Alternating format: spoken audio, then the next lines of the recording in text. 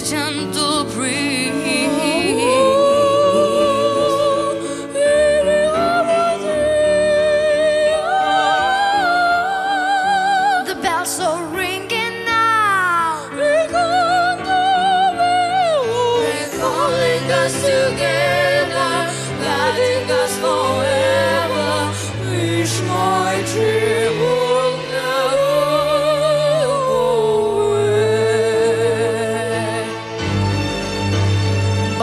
salón.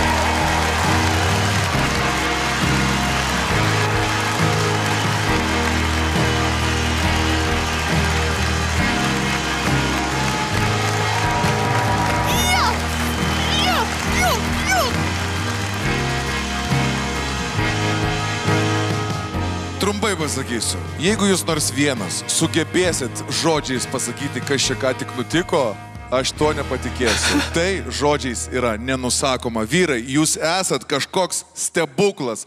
Bravo dar kartą!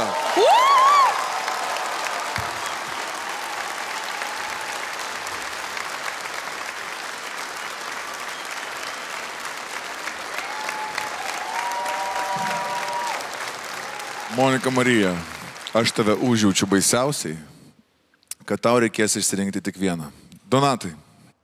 Nu, toks jausmas, kad, žinai, 92 metų Neblogas toks olimpiada. jausmas. Jie toksai, toks 22 metų olimpiada. Žinai, įsivaizdavau, vis laik norėjau būti krepšininku ir jaučiu, kaip jau mačiau, kaip man uždeda aukso medalį, žinai, vietoj Michaelo Jordano. Man toks jausmas man ką tik užplūdo. Tas euforijos jausmas klausant jūsų. Nu tikrai, va tas epiškumo toksai, nežinau, kažkoks egzistencinis momentas. Atklausai ir tiesiog kažkokia gale, jėga. Ir a, tą, ką jūs trys padarot vaikų balse, aš nežinau, suaugusių balse mes tokių kūrinių net neimam. Tikrai net neimam. Mes šitos kūrinius atidedam į lentynėlę, kur niekada neimsim. nes niekas negali jų padainuoti. Aš sveikinu, sveikinu visų pirma ir Moniką už puikų dainos pasirinkimą, už drąsų pasirinkimą, nes manau, kad drąsūs pasirinkimai, kurie visuomet yra prie rizikos, atneša vaisių ir rezultato, kuris bus tikrai atsimenamas. Taip kad aš jūs sveikinu vyrai, bravo, šaunoliai. Ką reikėtų išsirinkti, nežinau, nes jūs tikrai visi skirtingi esat kontekste viso projekto aš nežinau, kuris galėtų laimėti, bet jūs visi potencialūs esat finalininkai. Sveikinu jūs labai. Ačiū. Ačiū. Man tai, koks tavo komentaras būtų?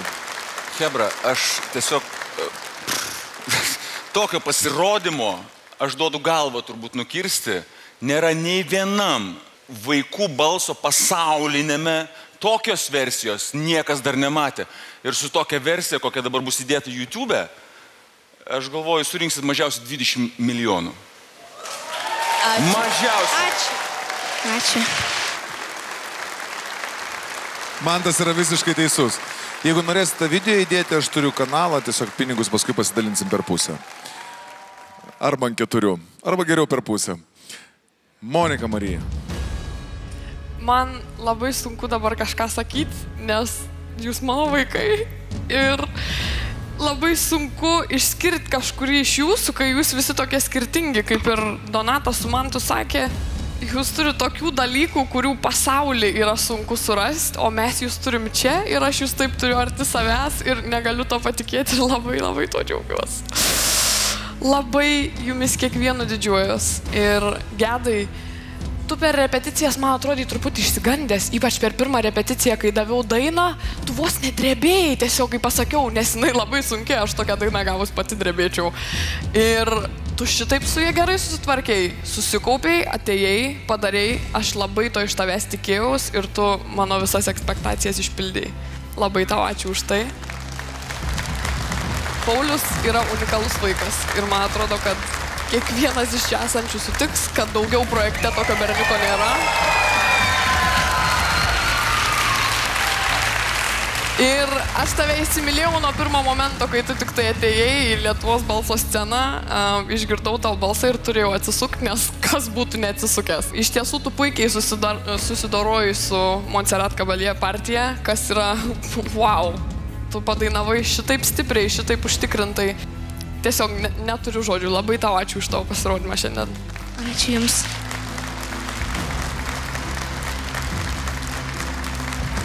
Kristupai, kai tave dabar jau gerai pažįstu, tu man atrodai panašiausias į mane. E, Galbūt savo charakteriu, savo emocijų reiškimu. Ir tu toks jautrus vaikas, toks lyriškas. Aš prisimenu, kai tu dainavai anksčiau laisvę, tu visiškai mane užvaldėjai. Man buvo taip gera tavęs klausytis. Ir šiandien man buvo dar geriau tavęs klausytis. Dėl to, kad tu padarėjai didžiulę pažangą. Nuo pirmojo pasirodymo tu per repeticijas tiek padirbėjai, tu namie tiek padirbėjai, kad šiandien aš tavęs tiesiog nebegalėjau atpažinti. Ačiū labai. Monika Marija, bet e, kaip ir taisyklės mūsų mums liepia, tu gali pasirinkti tik tai vieną dalyvį, su kuriuo toliau keliausi į pusfinalius. Ir koks jo vardas? Aš žinau, kad kad ir ką aš be pasakyčiau, tai vis tiek bus neteisinga kažkurio iš jūsų atžvilgių, nes jūs visi nusipelno tai toliau. Bet jūs prisimenat, ką aš jums visą laiką sakiau. Didžiausia jūsų gyvenime yra šita akimirka, kai jūs stovi čia dabar, kai jūsų visi žmonės klauso, jūs visi žmonės dievina.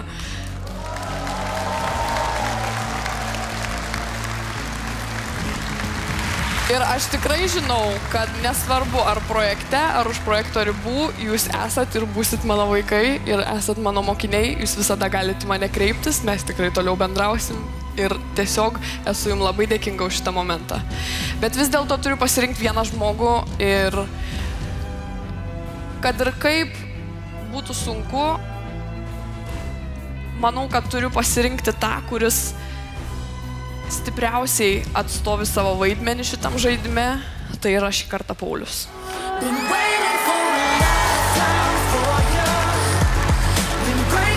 Paulius! Vyručiai, apsikabinam visi draugiškai. Jis labai drasus vaikas. Ir drąsa kartais priverčia žmonės daryti neįtikėtinus dalykus. Jis labai ryštingai priėmė kiekvieną čia duotą tame projekte galimybę, supranta, kokia yra vertė viso šito, yra pasiruošęs bet kokią kainą įveikti savo baimės ir pasitikė savo jėgomis.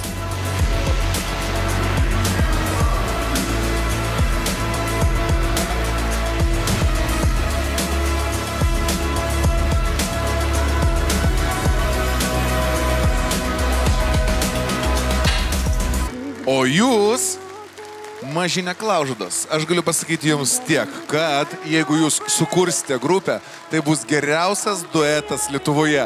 Nesivarginkit, visi du donatai, visokie ten, e, nu jūs patys žinot, ką reikia ten aplenkti, ne? Jūs būsit jėga. Pasiruošę tam? Taip. Taip, šaunuolė, aplodismentų dar daugiau. Keliaukit ruoštis.